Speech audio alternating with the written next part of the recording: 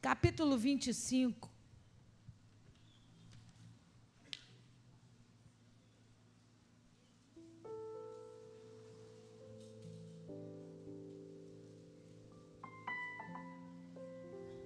Êxodo 25, a partir do verso 10.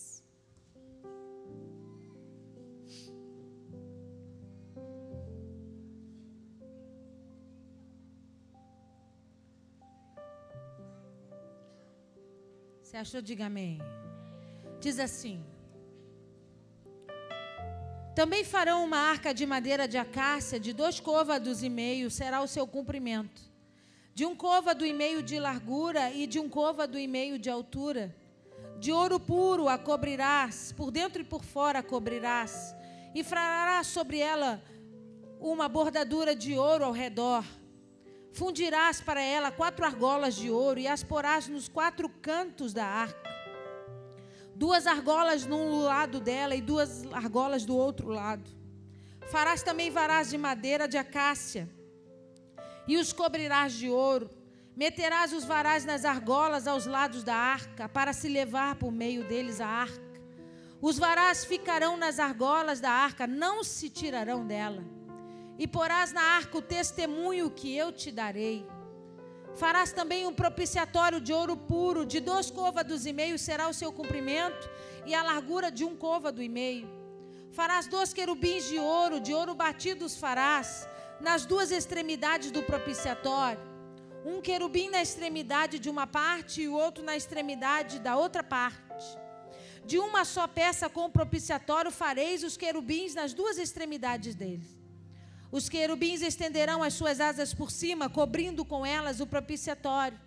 Estarão eles de faces voltadas uma para a outra, olhando para o propiciatório. Porás o propiciatório em cima da arca, e dentro dela porás o testemunho que eu te darei. Ali virei a ti. E de cima do propiciatório, no meio dos dois querubins que estão sobre a arca do testemunho, falarei contigo acerca de tudo o que eu te ordenar para os filhos de Israel. Amém? Feche os seus olhos, abaixe sua cabeça. Senhor, na autoridade do nome de Jesus, essa é a tua palavra. Nós te pedimos essa noite, fala conosco, ministra os nossos corações. Somos dependentes da tua direção, do teu falar, Espírito de Deus. Eu me coloco atrás da cruz de Cristo, a sombra do Onipotente. Eu entendo que esse lugar é todo teu, Senhor, é teu por honra e direito. Ministra os nossos corações. Viemos aqui porque queremos ouvir a tua voz. Fala conosco, Pai, nessa noite no nome poderoso de Jesus. Amém. Amém. Se você pode aplaudir o Senhor. Aleluia! Louvado seja Deus. Hoje, então, é a nossa oitava semana, onde nós vamos estudar a respeito do último elemento. Esse último elemento é chamado Arca da Aliança ou Arca do Concerto. Foi uma direção que Deus deu ao povo, enquanto eles ainda estavam no deserto. E Deus então dá ordem para que eles construam uma caixa de madeira coberta de ouro, por dentro e por fora. Uma caixa que sobre ela o propiciatório chama, é, é relativo à tampa dessa caixa. Sobre o propiciatório, Deus manda que eles que eles desenhem dois anjos, um de frente para o outro, com as asas estendidas, paralelas ao propiciatório, a tampa, também totalmente coberto de ouro. E Deus diz ao povo assim: faça isso nessa medida, desse jeito. Aí ele dá o detalhe, ele diz assim: porque porás dentro delas o testemunho que eu te darei. Então deixa claro para nós que isso viria depois, que ele iria dizer depois o que ele queria que fosse guardado dentro da arca. Então eles constroem esse objeto da mesma forma como foi especificado por Deus. A Bíblia diz então que eles aprontam isso e Deus libera a palavra. Deus faz uma promessa, você leu aí no final do versículo 22, ele diz assim: Ali virei a ti, e de de cima do propiciatório, do meio dos querubins que estão sobre a arca do testemunho, falarei contigo acerca de tudo que eu ordenar para os filhos de Israel.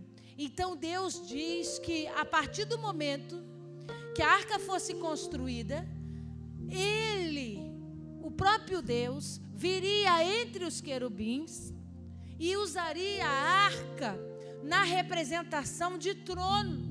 Deus vinha ali e se assentava para falar com o, com o sacerdote, para conversar e dar direção sobre o povo. Deus libera uma palavra, Deus libera uma promessa. Ele diz assim: Eu virei, me assentarei, e neste lugar eu vou falar com você.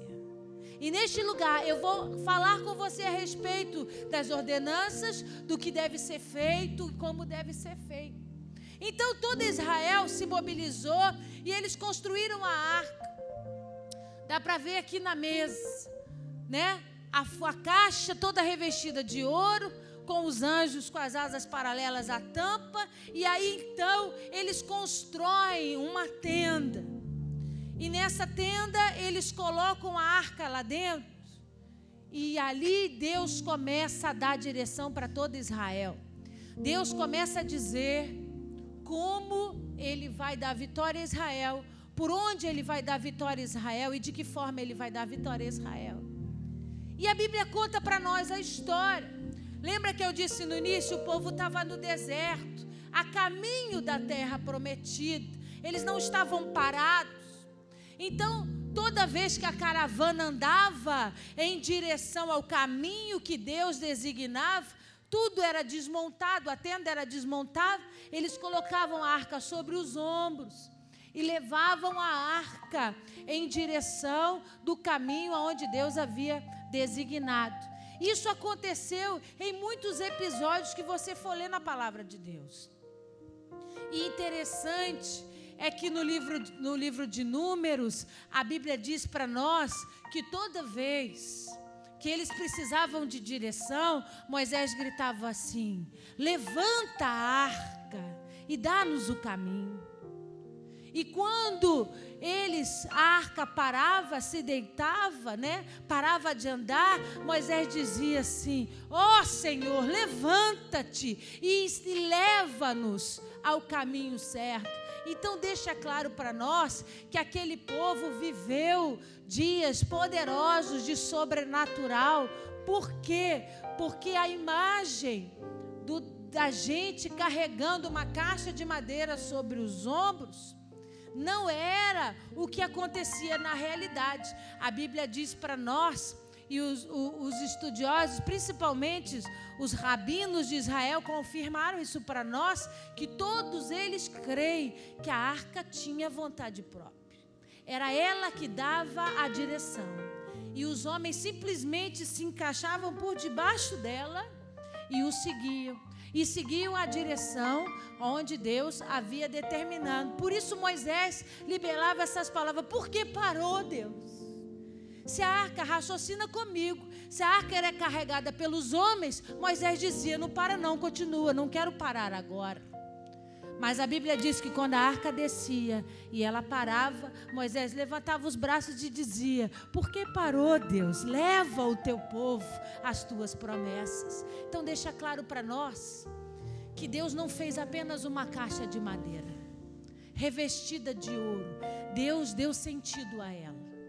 A partir daquele momento, Deus disse: Esse será o meu trono na terra, o lugar aonde eu virei e falarei com autoridade. Falarei com aquele que pode ouvir a minha voz, que pode entrar na minha presença e ter a direção pelo qual eu vou dar.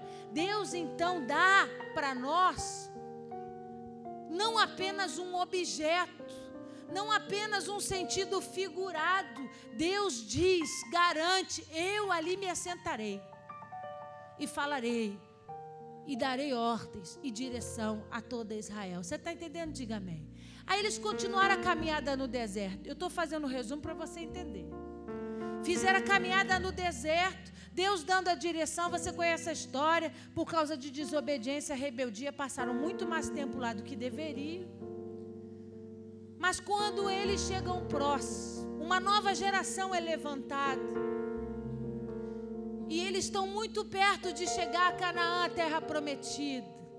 O primeiro grande desafio, passar com o cortejo pelo Rio Jordão. Em Josué, você não precisa abrir, em Josué capítulo 3, versículo 5 ao 7 diz que eles se depararam com o Rio Jordão e Deus deu a ordem a Josué: Josué, levanta a arca. E vai com a arca na frente e os levitas.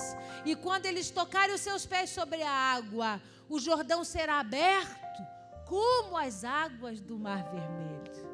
Duas paredes de águas foram levantadas. Era como se Deus tivesse fechado a bica lá do alto do Monte Hermon. Tivesse dado a ordem: não descongelem mais as geleiras. Parem de derramar água agora, porque o Jordão precisa parar. E o rio, você sabe, tem nascente, a água é corrente, não para. E aí, olha o sobrenatural de Deus. Quando a arca entrou sobre aquelas águas, as águas se formaram em duas muralhas grandes. E a Bíblia diz que todo o povo passou com os pés enxutos pelo Rio Jordão. Passaram pelo Rio Jordão, experimentaram do sobrenatural e um pouco mais adiante, no capítulo 6 de Josué, outro grande exemplo de sobrenatural a Bíblia diz para nós que eles encontraram as muralhas de Jericó. E as muralhas de Jericó era o desafio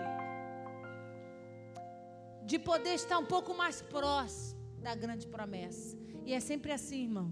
Quando está muito próximo da promessa, uma grande muralha aparece na nossa frente. Para que a gente olhe a muralha e diga: já andei tanto, já passei por tantos desertos, Agora que está tão pertinho, precisava de uma muralha desse tamanho, Jesus? Não podia ser uma menorzinha? E a Bíblia diz que eram muito grandes as muralhas. E Deus dá ordem a Josué: levanta o povo, Josué, e vai com a arca na frente. O que, que significa isso?